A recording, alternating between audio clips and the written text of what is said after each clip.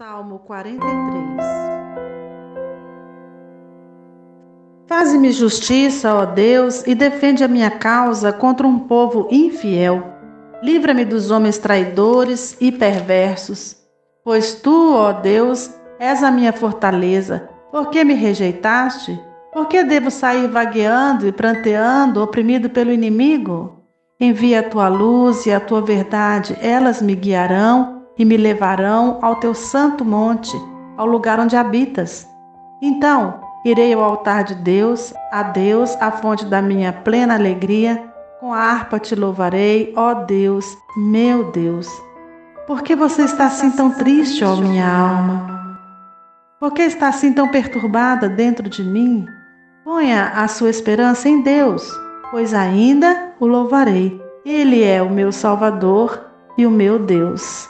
Amém, Senhor.